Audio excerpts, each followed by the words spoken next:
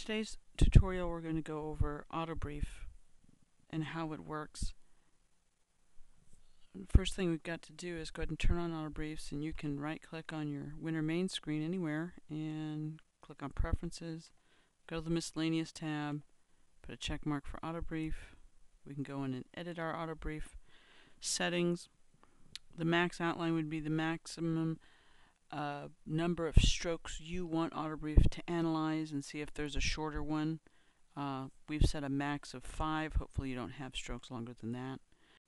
The minimum is two. You can set it to three, so it will look so it will look for three or more uh, strokes uh, to analyze. And then the minimum repeat time is how many times you want it to repeat before it actually displays a result. Alright, we click on OK. It's enabled. We'll click on OK again. And then we're going to go ahead and go into real time. I'm going to run this file through a simulator. It's going to go through pretty uh, darn quick.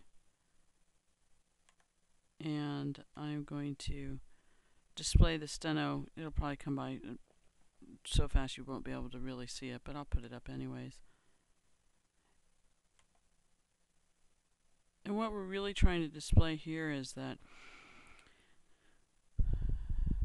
the software where the AutoBrief software will go through and, and find your outlines that could be shorter.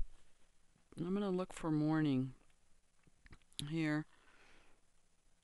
I'm going to stop it here for a second, go back up to the top, and let's find uh, the first, first one, morning.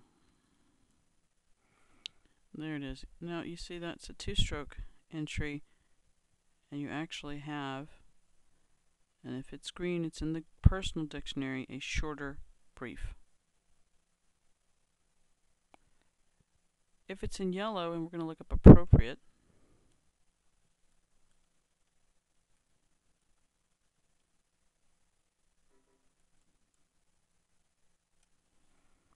you see that it also is a two-stroke entry, but since, it, but since it is in yellow, that's coming from the um, AutoBrief Dictionary. And the AutoBrief Dictionary is courtesy of uh, Mark Kislingbury. Thank you very much. And so what it will do is just as it goes through and it sees that you've got uh, these shorter briefs in either your dictionary or the AutoBrief dictionary, it's going to display them. If they become displayed, you are now eligible to use any one of these as you write. So the moment they become displayed, then the AutoBrief dictionary, the personal dictionary, of course, is yours, but anything from the Auto AutoBrief dictionary um, is available. And if you write appropriate the way you see it here, it will uh, translate out. So that's a pretty um, awesome, powerful feature, um, and hopefully, uh, you know, save you your hands and uh, make you a faster, better writer. Um, it would be interesting to see how many people's um, real-time stats actually change once they start using this, and we'll go turn it on so you give you a little bit of a reminder what real-time stats are. And what real-time stats allow you to do, of course, is view your current words per minute, your average words per minute, and your fastest words per minute. And then, of course, your, the total words that you've written uh, to the cursor point.